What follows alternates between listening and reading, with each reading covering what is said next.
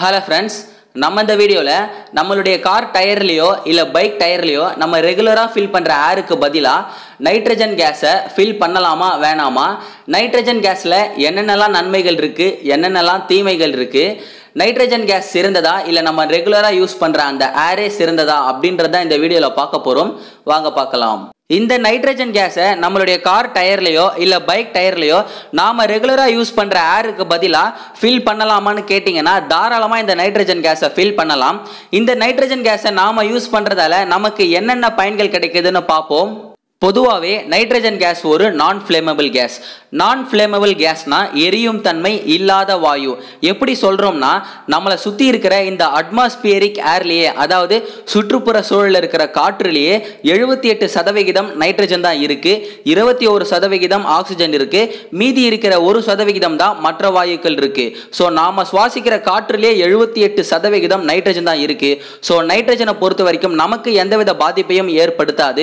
So nitrogen case எப்பயாச்சும் வெடிச்சிருமா? இல்லை எரிஞ்சிருமா? அப்படின்ற பயமும் கிடையாது. இப்போ உங்களுடைய பைக் டயருக்கோ இல்லை கார் டயருக்கோ நார்மலாக யூஸ் பண்ணுற ஏரையே வந்து நிரப்புறீங்கன்னு வச்சுக்குவோம்.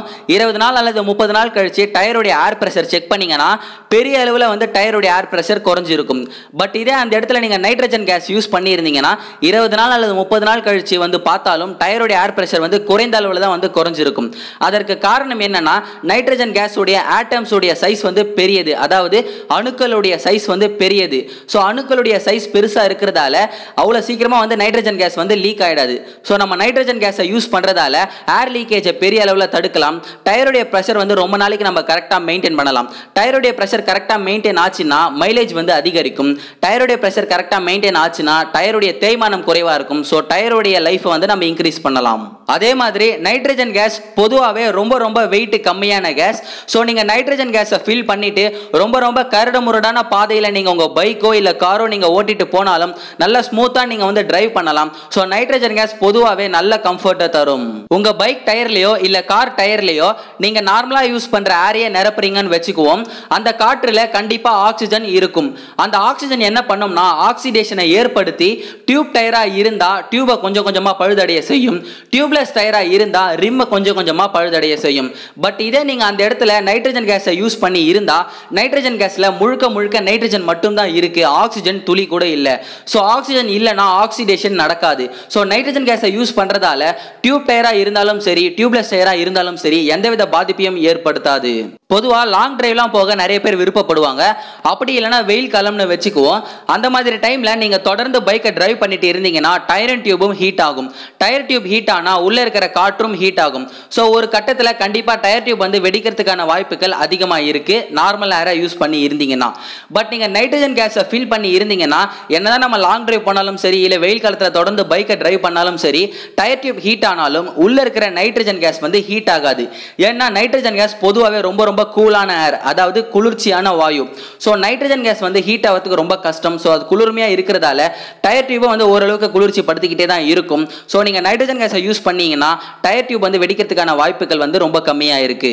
சரி இந்த நைட்ரஜன் கேஸை பற்றி சொல்லிட்டேன். இந்த நைட்ரஜன் கேஸை பயன்படுத்தினா என்னென்ன நன்மைகள் கிடைக்கும்னு சொல்லிட்டேன். இந்த நைட்ரஜன் கேஸை பயன்படுத்தினா என்னென்ன தீமைகள் கிடைக்கும்னா இந்த நைட்ரஜன் கேஸை பயன்படுத்துறதால நமக்கும் சரி நம்ம பைக்குக்கும் சரி எந்தவித தீமையும் வந்து கிடையாது. பட் ஒரு சில லிமிடேஷன்ஸ் வேணால் இருக்கு. அதாவது ஒரு சில வரம்புகள் வேணா இருக்கு. என்னன்னா நைட்ரஜன் கேஸை ஃபில் பண்ணணும்னா எல்லா பெட்ரோல் பங்க்லையும் கிடைக்காது எல்லா ஏர் ஃபில் பண்ற இடத்துலையும் கிடைக்காது. எந்த இடத்துலலாம் நைட்ரஜன் கேஸ் ஸ்டேஷன் இருக்கோ அங்க மட்டும்தான் நம்மளால நைட்ரஜன் கேஸை ஃபில் பண்ண முடியும். ஸோ நம்ம போற இடத்துலலாம் நைட்ரஜன் கேஸ் ஸ்டேஷன் இருக்குமா அப்படின்னா அது மிகப்பெரிய கேள்விக்குறி தான் ரெண்டாவது விஷயம் நைட்ரஜன் கேஸுடைய விலை வந்து அதிகம். நார்மல் கேஸை கம்பேர் பண்ணும்பொழுது நார்மல் ஏருடைய விலை பார்த்தீங்கன்னா அஞ்சு ரூபால இருந்து பத்து ரூபா தான் ஆகும். பட் இந்த நைட்ரஜன் கேஸை நீங்கள் ஃபில் பண்ணணும்னா ஐம்பது ரூபால இருந்து நூறு ரூபாய்க்கு மேலேயும் ஆகும். அதற்கு காரணம் என்னன்னா காற்றிலிருந்து நைட்ரஜனை பிரித்து எடுக்கணும்னா அதுக்கு சில எக்யூப்மெண்ட்ஸ் தேவைப்படும். அதுக்கு எலக்ட்ரிசிட்டி தேவைப்படும். அதுக்கு ஒரு சில ஆளுங்களை நம்ம போடணும். ஸோ இந்த மாதிரி தேவைகள் இருக்கிறதால நைட்ரஜன் கேஸுடைய விலை வந்து அதிகமாக இருக்கும். மற்றபடி நைட்ரஜன் கேஸில் எந்த குறையும் கிடையாது.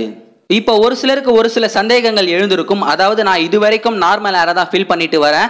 நான் இதுக்கப்புறம் நைட்ரஜன் கேஸை ஃபில் பண்ணலாமா அப்படின்னா தாராளமாக ஃபில் பண்ணலாம். இன்னொரு கொஸ்டின் என்னவா இருக்கும்னா நான் ஒரு முறை நைட்ரஜன் கேஸை ஃபில் பண்ணிட்டேன்னா தொடர்ந்து நைட்ரஜன் கேஸை தான் ஃபில் பண்ணணுமா அப்படின்னா அப்படியெல்லாம் கிடையாது. மாற்றி மாற்றி கூட பயன்படுத்திக்கலாம்.